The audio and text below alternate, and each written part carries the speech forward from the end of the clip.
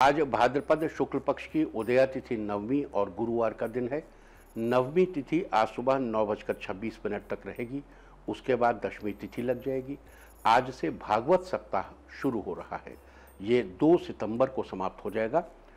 आज सूर्योदय से लेकर सुबह नौ बजकर छब्बीस मिनट तक स्थिर योग रहेगा। आज ही पूरा दिन, पूरी रात सभी कार्यों में सफलता देने वाला रव योग भी रहेगा। आज दोपहर बारह बजकर सैंतीस मिनट तक ज्येष्ठा नक्षत्र है, उसके बाद मूल नक्षत्र शुरू हो जाएगा, जो कल दोपहर बारह बजकर सैंतीस मिनट तक रहेगा।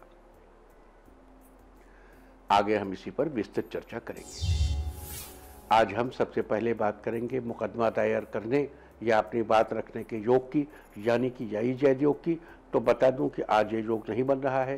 अब ये योग पाँच सितंबर की सूर्योदय से शाम चार बजकर उनतालीस मिनट तक रहेगा।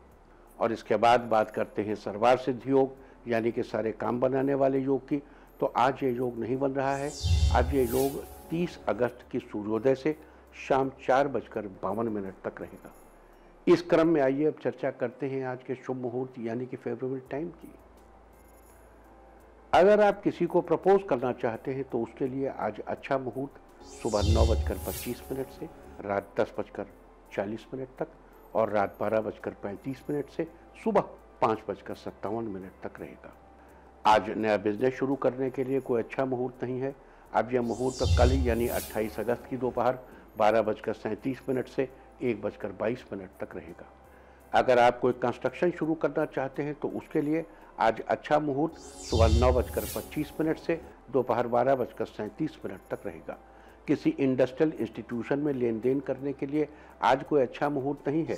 अब ये मुहूर्त 29 अगस्त की दोपहर एक बजकर तीन मिनट से शाम चार बजकर बाईस मिनट तक और शाम छः बजकर चार मिनट से सात बजकर तेरह मिनट तक रहेगा।